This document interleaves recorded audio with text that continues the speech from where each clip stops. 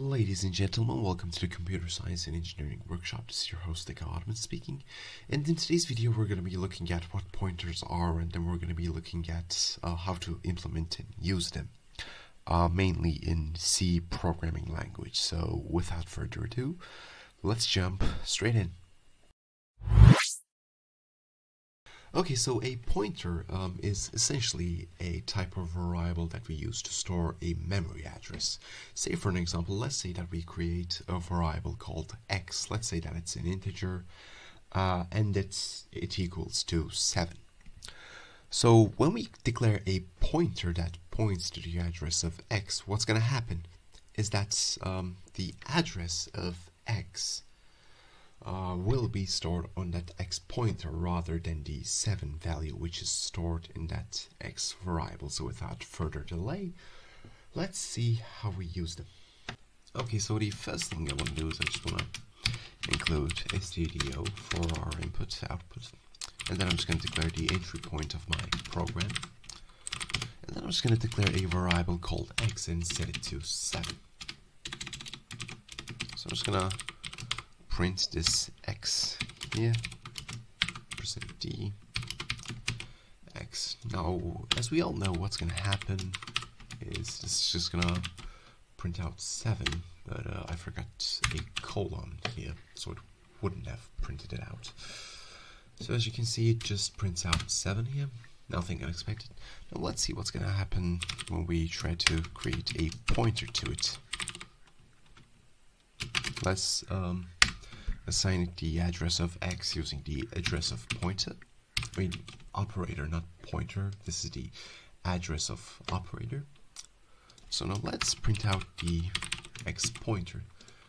Since we forgot the asterisks here, uh, the star sign, whatever you want to call it, it's not going to print out the value of x. Instead, it's going to print out the value of this pointer, as I've told, as I mentioned earlier uh, instead of that pointer, we just store an address, which is a numeric value, and it prints us out this value. If we want to print out the value of the x variable we created, what we should do is we should use the operator, this operator here. There we go. Okay, now what I want to do, no, I don't want to save the output. Um, what I'm going to do now, I'm just going to create a variable called y, and then I'm just going to create a, a y pointer. Here and then I'm going to assign it the address of y. And next I just want to say printf here. Just to um, have it done. Yeah. Y pointer. Let's not forget the asterisks here and let's not forget colon here. Uh, what? Why is it giving me an error? It has the type of int because we forgot this here. Actually, I'm just gonna fix the indentation here real quick.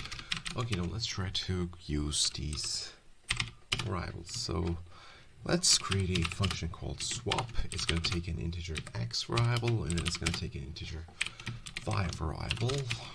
We're gonna have an integer called temp to store the x while we um, to be able to assign the value of x after we um, assign the value of y to our x. So I'm just gonna store the value of x in our temp, and I'm just gonna store the value of y, and last I'm just gonna say y equals temp, and then this should, uh, in theory at least, uh, be able to swap the values of these two numbers.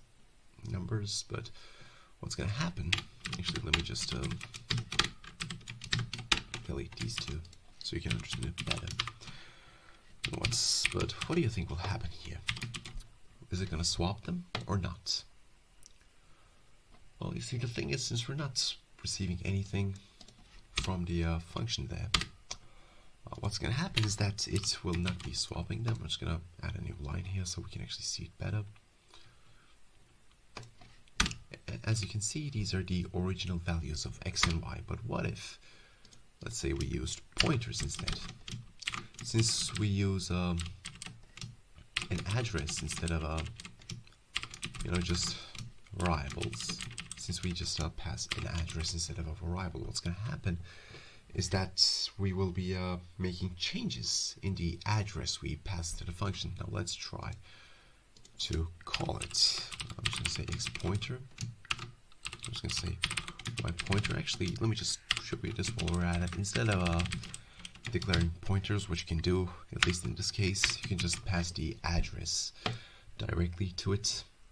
And then, uh, now let's see if it's to swap them or not. Why is it not running? Um, it gives us uh, an access violation. That's odd. Mm. That's odd. Let me just try it with this. I probably did something wrong here. Uh. okay, now it should no longer give an access violation here. But why did it give an error there? Uh, nope. But why is it giving me an error? Mm, this is just a pointer to the address of it. And then, oh, I see, I see. Okay, so it already expects a pointer type variable. So the uh, star sign there just is a is an extra. That's a mistake on my behalf. So uh, yeah, if we pass it like this, it should just work fine. So anyway, that was pointers. Uh, if you guys found the video um, helpful or educational or enjoyable in any means, uh, please make sure to like and subscribe and uh, have a nice day.